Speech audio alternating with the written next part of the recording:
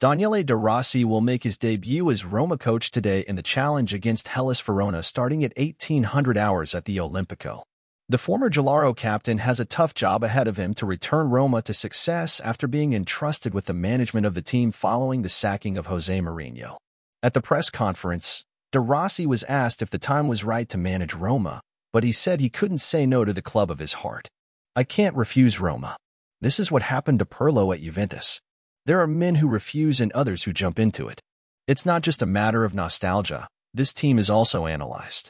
I would have said no only if I thought the team was weak. I think we are strong and the work will make us look good and help me in my career development. We will see this in a few months, said De Rossi. De Rossi has said that there are no conditions in his contract, but he will play until death to be confirmed after June as his contract will end. The presidents were clear about the duration of the contract and my position. I said okay and asked for a bonus. I didn't sign empty, but I signed with the amount they told me, but I won't always do that. It was a great opportunity.